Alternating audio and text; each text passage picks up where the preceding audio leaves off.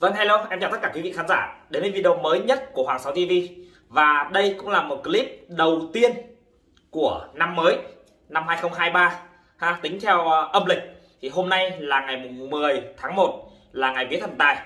Thì uh, trước khi làm uh, nội dung chính của video này thì em cũng xin gửi một lời chúc đến tất cả quý vị khán giả trong và ngoài nước cũng như tất cả quý vị khán giả theo dõi kênh youtube của Hoàng Sáu TV Chúc tất cả quý vị khán giả có một ngày thật là vui vẻ, hạnh phúc một năm mới, an khang thịnh vượng, vạn sự như ý.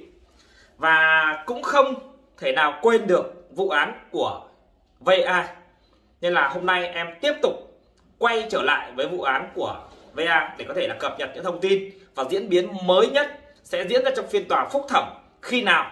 Và cũng như tất cả quý vị và các bạn đã biết là em đã không cập nhật thông tin về cái vụ án của Vân An này trong một thời gian rất là dài, bởi vì là không có thông tin mới, cũng như là có rất nhiều những cái thông tin về cái vụ án khác thì cũng có rất nhiều quý vị khán giả có nói với em rằng là có bỏ quên vụ việc này hay không? Hay là lâu rồi nên là mọi người không ai còn nhớ đến nữa? Thì Hoàng Sa TV có nói rằng là chắc chắn là em sẽ theo dõi vụ việc này đến cùng. Và khi nào tòa xét xử xong và khi nào tòa tuyên án và bản án có hiệu lực thì Hoàng 6 TV mới dừng lại. Nên tất cả mọi người sẽ yên tâm nha. Thông tin mới nhất của ngày hôm nay, đầu năm mới thì diễn biến của vụ việc Vân An này thì sẽ được diễn ra vào cuối tháng 2 đó, đây là một thông tin có thể nói rằng là sẽ, trong cái thông tin là xét xử trong điều kiện là trước 90 ngày. Thì cái thời hạn cuối cùng ấy thì sẽ vào tháng 3 cơ. Nhưng mà trước 90 ngày thì có thể sẽ là vào cuối tháng 2 hoặc lớn tháng 2 thì chúng ta mới có thông tin. Đó, bởi vì thông tin mới nhất của luật sư thơm có đăng tải á, là ở đây. Và hiện tại thì em cũng đang kinh doanh thêm sản phẩm bò khô, bò sợi. Rất mong quý vị và các bạn sẽ ủng hộ giúp Hoàng 6 TV nhé. Với mỗi hộp như vậy thì sẽ có mức giá là 250k đó, đây là sản phẩm bò sợi. Còn đây là bò khô quý vị nhé bò khô miếng. Đó, bò khô miếng. Còn đây là bò khô sợi. Với mỗi hộp này thì chi phí với mức giá là 250k rất mong quý vị và các bạn sẽ ủng hộ giúp em. Quý vị và các bạn có thể thấy là mua cái sản phẩm này để làm quà, biếu người thân, tặng quà. Đó, sản phẩm này chắc chắn là rất là ngon về chất lượng. Thì chắc chắn là em sẽ đảm bảo uy tín về chất lượng. Quý vị nhé rất mong mọi người sẽ ủng hộ em ạ.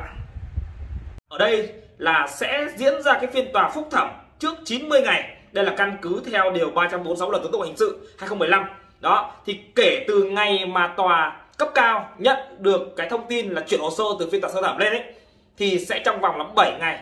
Và chúng ta đã biết là di ghẻ, con ờ, là Quỳnh Trang đó, thì đã làm đơn kháng cáo cùng ngày là ngày 30 tháng 11 trùng với luật sư thơm, đã gửi đến yêu cầu. Và ngày 16 tháng 11 à vào ngày 16 tháng 12 là cái ngày mà tòa đã nhận được đơn kháng cáo đây cũng là một cái thông tin là chúng ta tính cái mốc từ ngày 16 tháng 12 thì có thể rằng là từ ngày 16 tháng 12 đến 16 tháng 1 là một tháng 16 tháng 2 sẽ là hai tháng và kết quả diễn ra trong phiên tòa phúc thẩm là tòa cấp cao ấy, thì sẽ diễn ra từ cái thời gian từ ngày 16 tháng 2 trở đi. Đó, thì em cũng nói với tất cả mọi người rằng là chắc chắn phiên tòa này sẽ được diễn ra trước 90 ngày. Vậy thì chúng ta sẽ đợi chờ rằng là đã hơn một năm qua, kể từ ngày 22 của tháng 12 năm 2021 đúng không? Đến ngày à, à, 25 tháng 11 là diễn ra phiên tòa sơ thẩm là lần 2 ngày 24 tháng 7 là lần 1 thì chúng ta đã biết là đã tuyên án Trang ở cái mức tử hình và Thái ở cái mức 8 năm. Thì cái thông tin mà chúng ta biết được rằng là vụ án này là diễn ra phiên tòa cấp cao là phiên tòa phúc thẩm ấy được diễn ra khi có cái đơn kháng cáo của luật sư thơm và đơn kháng cáo của là di cải quỳnh trang. Đó thì ở đây thì cái phiên tòa này diễn ra chỉ với hai cái yêu cầu của hai người này thôi. Còn nếu như mà di ghẻ không có kháng cáo, luật sư không kháng cáo thì vụ án này thì sẽ y mức án đó là thái chỉ có mức 8 năm. Và đây cũng là một cái sự đồng tình của gia đình. Thì chúng ta trong năm mới ha, em cũng không có muốn nhắc đến một cái chuyện gì đó nó quá sâu về gia đình. Nhưng mà gia đình ở đây đã bỏ cuộc rồi, thì chúng ta sẽ không nhắc đến nữa. Đó. Cái cuộc chiến này tiếp theo sẽ là luật sư thơm, với lại là người dân trong cả nước.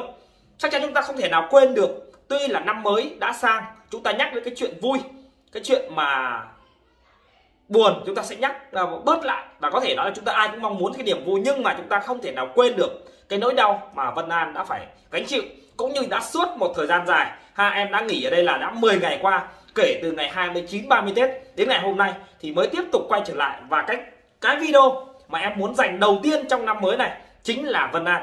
Để cho mọi người biết rằng là cái tình cảm, dù em có tham gia bất cứ một cái vụ án nào thì vẫn có một cái tình cảm đặc biệt dành cho vụ việc của Vân An. Và vẫn theo dõi vụ việc đến cùng.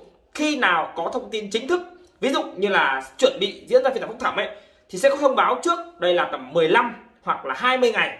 Đó, thì trong thông tin ở đây là chắc chắn là sư thơm và gia đình sẽ phải biết trước 15 ngày khi xảy ra vụ án. Vậy thì có thể nói là tầm độ trước, tầm độ 20 đến 30 ngày thì chắc chắn chúng ta sẽ biết được thông tin trên truyền thông đại chúng. Và thông tin mới chúng ta đã biết rằng là chúng ta hiện tại chỉ có mong rằng là cái mức án ở đây sẽ không phải là 8 năm, mà sẽ phải tầm 20 năm thì nó mới phù hợp với cái sự việc đã gây ra. Bởi vì là chúng ta đã thấy rất là rõ cái yếu tố ở đây là đồng phạm trong vụ việc này. Tuy rằng là chúng ta vẫn chưa thể nào mà có cái thông tin chính thức từ tòa án là vai trò đồng phạm, nhưng ở đây cái tài liệu mà luật sư đã phân tích ở đây là thái là người đồng ý cho gì ghẻ ra tay. Thì gì ghẻ mới có thể ra tay trong thời gian là một năm trời.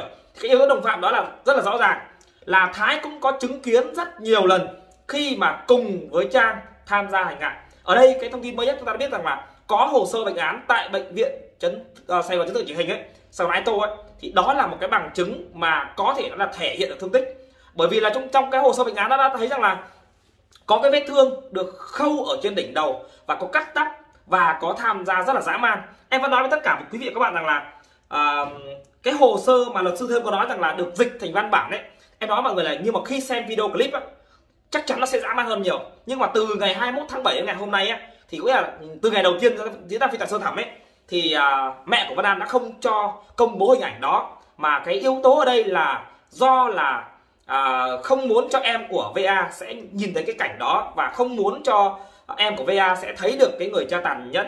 Nhưng mà theo em nghĩ được rằng là đây là có thể là là một cái sự gọi là gia đình của VA là chị Hạnh ấy, cũng không có thương yêu Vân An như chúng ta nghĩ đâu. Nên là có thể nói là ngay từ ngày đó thì họ đã xác định là sẽ tha thứ. Bởi vì chúng ta đã biết rằng là cái mức án 8 năm thì ai là người có lợi?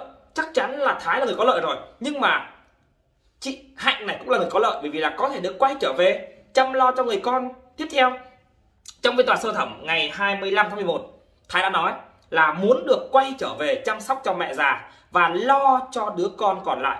Vậy thì chúng ta không thể nào mà chúng ta có cái suy nghĩ đây là chị hạnh có tha thứ không? Đúng không? Thời gian nó sẽ vơi đi.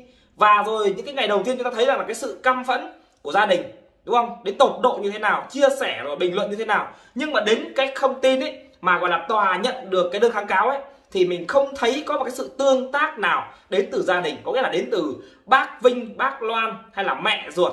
Chúng ta chỉ thấy rằng là cái sự gọi là lên án của bà ngoại thôi. Nhưng bà ngoại đấy không có giá trị pháp lý. Bà ngoại đâu có tiếng nói đâu đúng không? Trong cái thông tin đây là trên hồ sơ ấy, thì chị hạnh mới là cái người đại diện cho người bị hại. Kể cả bác bây giờ nó cũng chả làm gì được. Đúng không? Bác không kháng cáo, mẹ không kháng cáo, không ai kháng cáo thì có nghĩa là trong phiên tòa phúc thẩm thì chắc chắn là người mẹ cũng cháu quyền gì ở đây cả. Chỉ là đại diện có mặt nhưng mà chắc chắn một điều là mẹ sẽ không bao giờ có mặt đâu. Đúng không? Trong phiên phúc thẩm này thì có thể nó là sẽ có một người bác hoặc là bà ngoại sẽ có mặt. Vẫn cái lý do vẫn vắng mặt là mẹ vẫn sốc nhưng mà trong vòng hơn một năm trời rồi. Đúng không? Cái nỗi buồn còn đó chúng ta đã thấy rằng là người dân chúng ta là những người xa lạ nhưng mà vẫn nhớ đến Vân An hàng ngày. Em nói với tất cả quý vị và các bạn rằng là đến khi nào vụ án này kết thúc và phải xử lý nghiêm ở đây là nghiêm minh cho những cái đứa trẻ sau này sẽ là được công bằng. Để cho những cái vụ án không có tương tự như vụ của VA này diễn ra nữa nên là đã trải qua một quá trình là từ ngày 22 tháng 12 của năm 2021 đến bây giờ đã là mùng 10 à đến đã, bây giờ đã là tháng 1 ha của 2023 rồi cũng như là theo âm lịch ấy, thì hôm nay là ngày 10 tháng 1 là ngày thần tài đó. Thì chúng ta đã biết rằng là đã trải qua hơn một năm nhưng mà vụ án này vẫn chưa kết thúc bởi vì là hai cái tên tàn nhẫn kia vẫn chưa bị xử lý. Em vẫn nói với tất cả mọi người là rất tất cả chúng ta người dân ấy rất mong là phiên tòa phúc thẩm sẽ được diễn ra. Chúng ta đã biết là luật sư thơm cũng đã nói rằng là phiên tòa phúc thẩm này diễn ra khi có đơn kháng cáo của luật sư thơm cũng như là đơn kháng cáo của trang. Bởi luật sư thơm cũng như là người dân ấy là không đồng tình với các mức án 8 năm của thái chúng ta ai cũng biết là cái sự tàn nhẫn đó không thể nào mà 8 năm được, đúng không? Bởi vì là ở đây là cái sự, thứ nhất là cái sự cho phép, sự cho phép của thái, sự cho phép. Như vậy thì mới có thể là tra tấn trong vòng một năm. Còn nếu như mà thái không cho phép thì sẽ không bao giờ có chuyện mà bảo hành trong vòng một năm được, đúng không? Chỉ diễn ra trong thời gian rất là ngắn thôi. Nhưng mà đây là cái sự cho phép của chính người cha.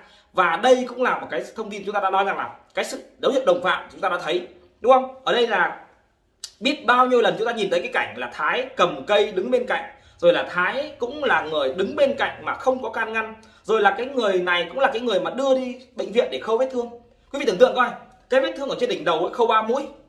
Nhưng mà ai là người trở đi khâu? Cũng là người cha. Nhưng mà người cha này lại không có một cái ý kiến gì để lên án để ngăn cản. Chúng ta đã biết là thái là cái người còn nói rằng là mua cái uh, mua cái uh, chuồng cho cho nhốt cho cho chó đấy là để cho Vân An chơi chứ không phải là để nhốt. Nhưng mà trong thông tin ở đây là Thái đều có không có cái lời khai nào mà gọi là không có lời khai nào gọi là nhận tội hay là biết lỗi. Thái bây giờ vẫn là vòng vo chối tội vẫn đổ lỗi cho Trang. Nhưng mà em cũng đang thắc mắc là ở đây là không biết đến phiên tòa phúc thẩm này thì Trang liệu có nói những cái điều mà cần nói hay không? Bởi vì trong phiên tòa sơ thẩm à, lần thứ hai á thì Trang vẫn khai cái lời khai mà nó có lợi cho Thái. Ví dụ như là không có anh Thái thực trực tiếp tham gia rồi là uh, anh Thái như thế này thế thế kia đều tất cả là Thái có nói cái câu là đưa được bị cấp cứu đi tù à hay không đúng không? Em vẫn nói với tất cả mọi người là Thái khi trở về nhà là VA vẫn chưa qua đời. Vậy thì cái dấu hiệu ở đây là ai là cái người mà ra tay cuối cùng? Chúng ta đã biết cái kết luận của giám định thương tích ấy là nguyên nhân ra đi do phù phổi cấp với sốc đa chấn thương. Đó ở đây chúng ta vẫn chưa biết được là khi Thái trở về nhà VA vẫn chưa qua đời.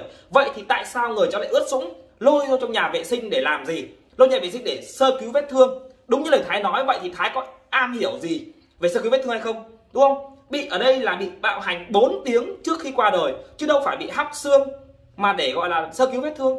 Tại sao á, cái thời gian 90 phút đó lại không đưa đi cấp cứu? Nên là em nói với tất cả mọi người là bây giờ chúng ta vẫn còn rất nhiều điều mà phải thắc mắc và có nghĩa là cái vụ án này nó càng lâu ấy thì cái sự ủng hộ của người dân sẽ bớt đi. Bởi vì chúng ta đã biết là đã trải qua hơn một năm trời rồi nhiều người thì đã không còn nhớ đến cái biết vụ này nữa. Nhiều người thì nhắc đến vụ này người ta đã nói rằng là ở vụ này xử rồi gì cả tử hình rồi.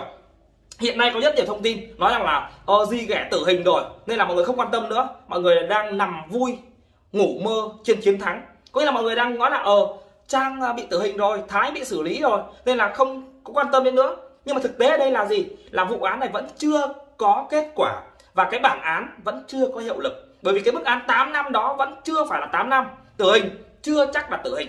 Bởi vì chúng ta đã biết là ở đây là trang vẫn làm đơn kháng cáo, vẫn có thể xuống cái mức trung thân. Mà xuống trung thân ở đây là lỗi là ai? Là do ở đây là do mẹ của va vẫn không làm đơn để kháng cáo. Không làm đơn ở đây là làm gì? Là giữ nguyên cái bản án tử hình. Nhiều người cứ nói rằng là chỉ cần luật sư làm đơn kháng cáo được rồi, mẹ không phải làm đơn. Nhưng mà mẹ ở đây là mẹ có quyền đòi lại công mà cho con nhưng mà mẹ lại không làm đơn.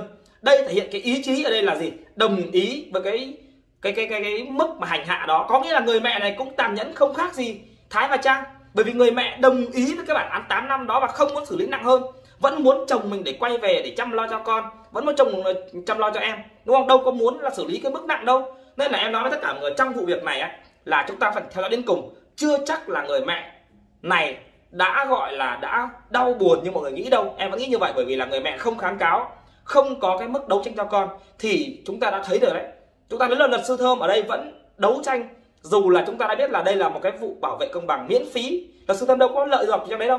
Chỉ là bảo vệ miễn phí thôi, bởi vì là luật sư coi va như là con của mình, đúng không? Nên là em cũng có thể nói với tất cả mọi người là hiện nay chưa có thông tin mới chính thức về phiên tòa phúc thẩm, nên là em sẽ cập nhật liên tục nếu như có thông tin.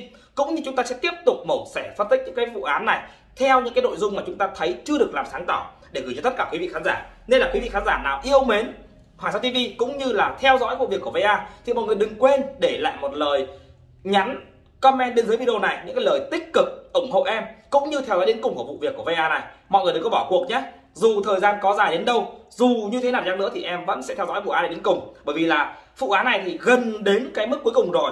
Chỉ còn tầm độ là đến cuối tháng 2 này thì sẽ diễn ra phiên tòa phúc thẩm.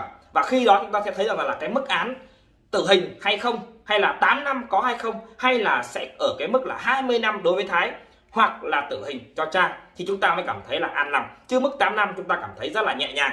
Tuy rằng chúng ta đã biết rằng là bằng chứng thì chúng ta đã có, đúng không? Có căn cứ có cơ sở rồi, nhưng mà vẫn phải đợi cơ quan chức năng rồi bên tòa án họ sẽ xem xét thật là kỹ lưỡng để xem có căn cứ cơ sở để định tội thái và giang hay không. Thì chúng ta vẫn phải đợi cái kết quả cuối cùng là ở tòa án. Đó, nên là em cũng mong tất cả mọi người là chúng ta, tuy rằng chúng ta rất là bức xúc nên chúng ta vẫn phải thượng tôn pháp luật. Pháp luật ở đây thì sẽ cho chúng ta biết rằng là đúng, sai, rõ ràng, sẽ không ai có thể ngồi đến pháp luật được quý vị ạ. Tất cả những cái vụ án lớn nhỏ đều được xử lý. Thì cái vụ này cũng chả có lý do gì không được xử lý công bằng cả. Nên là mọi người yên tâm nhé Ờ, em sẽ liên tục cập nhật thông tin mới nhất ở video này xin phép dừng ở đây. Cảm ơn tất cả quý vị và các bạn đã theo dõi hết video này. À, chúc tất cả quý vị và các bạn một năm mới vạn sự dư ý và an khang thịnh vượng quý vị nha. Chào tất cả mọi người.